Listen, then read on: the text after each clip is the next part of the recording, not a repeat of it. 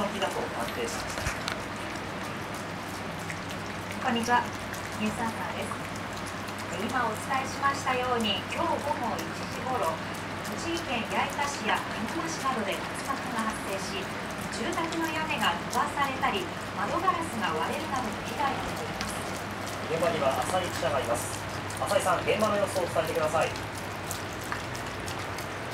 はい、こちらは竜巻と見られる突風が吹いた栃木県矢板市の現場です。私の後ろをご覧ください。美容院の屋根、ただいまあの作業員の方が登っていらっしゃいますが、あちらの瓦が数枚めくれていました。さらにこちら、ご覧ください。まだこちらの屋根は瓦がめくれた状態になります。